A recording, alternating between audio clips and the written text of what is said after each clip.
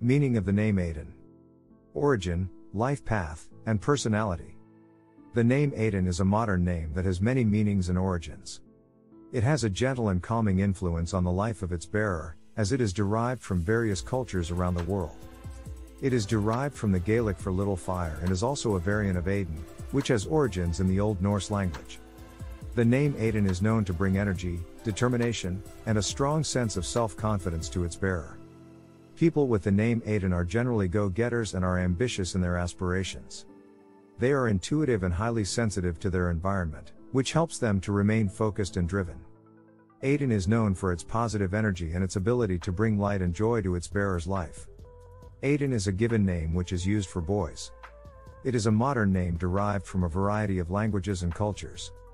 Ayden is an anglicization of the Gaelic name Aidan and the Old Norse name Adin. Ayden is a masculine name meaning fiery, little fire, fire, or flame. People with the name Ayden are generally go getters and are ambitious in their aspirations. They are intuitive and highly sensitive to their environment, which helps them to remain focused and driven. Ayden is known for its positive energy and its ability to bring light and joy to its bearer's life. The life path of a person named Ayden is likely to be both active and driven. People with the name Ayden are generally curious and adventurous, and they love to explore their surroundings.